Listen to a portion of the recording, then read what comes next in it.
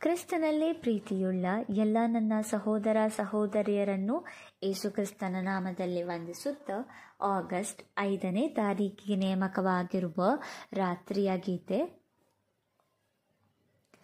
ಆತನು ನನ್ನನ್ನು ನಂಬಿಗಸ್ತನೆಂದು ಎಣಿಸಿ ಈ ಸೇವೆಯಲ್ಲಿ ನೇಮಿಸಿಕೊಂಡಿದ್ದಕ್ಕಾಗಿ ನಾನು ಆತನಿಗೆ ಸ್ತೋತ್ರ ಸಲ್ಲಿಸುತ್ತೇನೆ.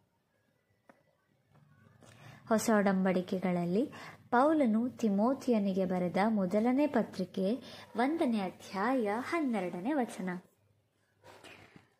ಆಹಾ, ಹೌದು, ನಮ್ಮ ಪ್ರತಿಯೊಂದು ಮಾತು ಮತ್ತು ಪ್ರತಿಯೊಂದು ಕ್ರಿಯೆಯ ಬಗ್ಗೆ ಕರ್ತನು ತಿಳಿದಿರುವಾಗ ನಮ್ಮ ಮಾತುಗಳಿಂದಲೂ ಮತ್ತು ನಮ್ಮ ಕ್ರಿಯೆಗಳಿಂದಲೂ ಏನೋ ಉತ್ತಮವಾಗಿದೆ ಎಂದು ಎಣಿಸಲು ಆತನು ಸಂತೋಷಪಡುತ್ತಾನೆ ಎಂದು ತಿಳಿದುಕೊಳ್ಳುವುದು ನಮಗೆ ಎಷ್ಟು ಆಶೀರ್ವಾದದ ತೃಪ್ತಿಯನ್ನು ಉಂಟು ಮಾಡುತ್ತದೆ ನಮ್ಮ ಮಾತುಗಳು ಯಾವಾಗಲೂ ನಮ್ಮ ಹೃದಯದ ಪೂರ್ಣ ಭಾವನೆಗಳನ್ನು ಪ್ರತಿನಿಧಿಸುವುದಿಲ್ಲ.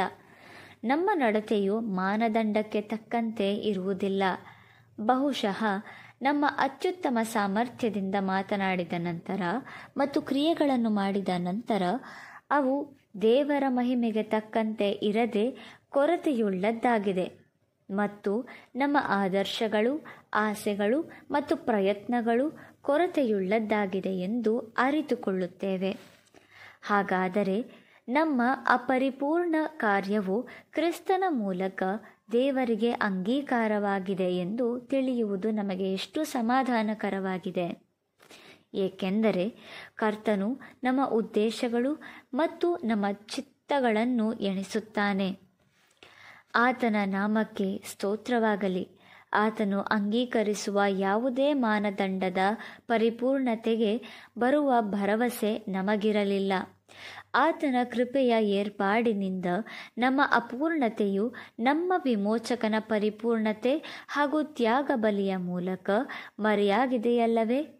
ಮತ್ತು ನಮ್ಮ ಹೃದಯದ ಉದ್ದೇಶಗಳಿಂದ ಹಾಗೂ ನಮ್ಮ ಹೃದಯದ ಬಯಕೆಗಳಿಂದಲೇ ನಮ್ಮ ಕ್ರಿಯೆಗಳು ಅಂಗೀಕರಿಸಲ್ಪಟ್ಟಿದೆ.